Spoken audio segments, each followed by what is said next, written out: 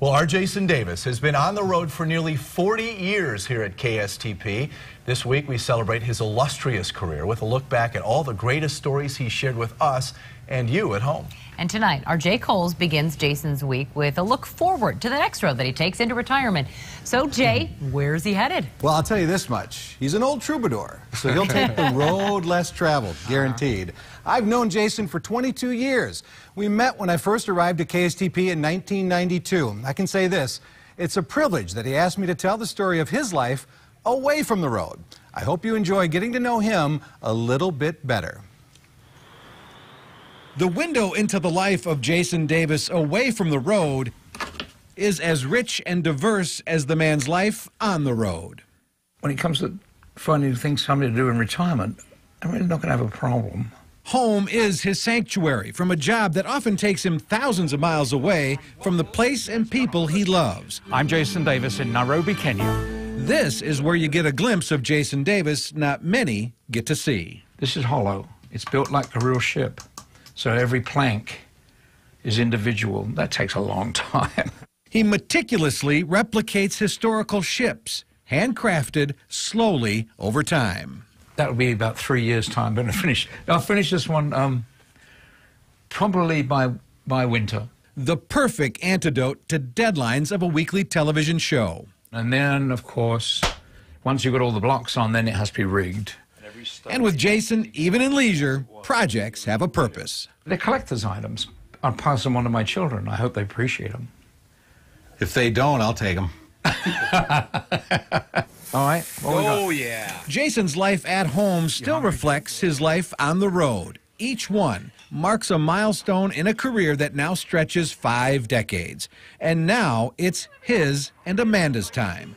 Married 45 years, Amanda's the office manager at Family Means in Stillwater, and they're retiring on the same day. I think it's exciting. It's, we're, uh, it's a good word. We're both very excited because we have so much to do. Amanda's the one person who really knows the man set apart from his career on the road. Help yourselves. He's a very kind and generous, generous and fair person, fair man. He's a good man. Um, he's surprised that I said that. I am. and he was. Thank you for that. Uh, You're yeah, I try. I do my. We both do our best. You know that. And when Jason told her he decided to retire, I didn't listen to him. Now she believes he's ready, and she's ready after 38 years on the road with four young children at home. You have to be very flexible, and you can't have any ego of your own. it's it's it's been pretty. I don't know. We've we have dealt with it pretty well. Yeah, I think so. We wouldn't be together if we hadn't. Mm-hmm. Amanda and Jason say retirement will focus on time together with their four grown children and eight grandchildren. Time to catch up. I'm going to be 65. He's going to be 75. Um, it just seems like yesterday that we were 20 and 30. Yeah. You know, it really flies by. Jason's children quickly tell you there's not much contrast between their television dad and the dad they knew at home. Definitely a renaissance man, fixing all the cars and, uh, you know, mechanically inclined. Um, and uh, he wouldn't stop working until he went to bed at night. But when Jason had to travel to Barrow, Alaska to cover a remarkable story about whales trapped under a blanket of ice, television dad quickly came into focus at home. Yes. I, I came home from school. I was walking down the driveway. And what his daughter saw next is not every dad's commute home from work. It was amazing to have the, the helicopter land in the backyard. I mean, I'll never forget that. That's just a it's just an image in my head that you just a helicopter landed in my backyard. the family recently did something together they hadn't done in 20 years a family portrait. One, two, three. At Judd right, Sather Photography in Stillwater, all 16, including triplet Boom. grandsons. Jason tells you his most important treasures were not found on the road. Watching the family together, Amanda and Jason wouldn't change a single thing. No. I wouldn't for sure. Except when we're arguing. She might have chosen a different guy.